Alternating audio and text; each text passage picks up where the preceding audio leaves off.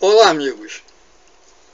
Eu fico surpreso ao ver canais aqui no YouTube que têm recursos que são de pessoas que têm carros de luxo, moram em condomínio de luxo, ou outros que viajam pelo mundo e ainda assim ficam pedindo dinheiro, visualizações e audiência em seus vídeos monetizados para gerarem mais receita.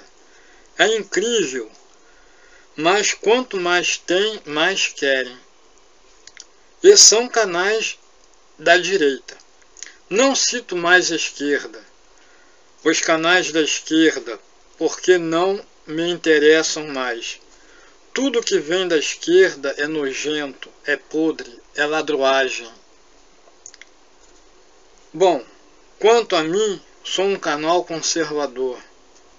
Não tenho recursos. Tenho um computador simples.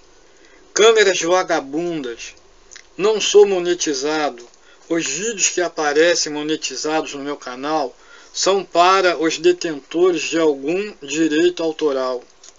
Não ganho nada do YouTube.